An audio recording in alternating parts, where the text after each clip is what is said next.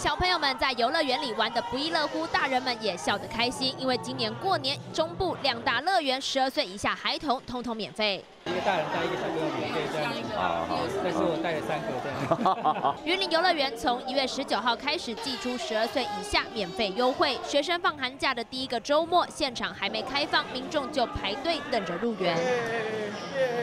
而台中的乐园则是跟进新市长花博免费政策，从跨年连假一路到一月二十号，十二岁以下孩童免门票。接着第二波从二月二号开始，九天的连假欢喜请新年，儿童一样免费入园。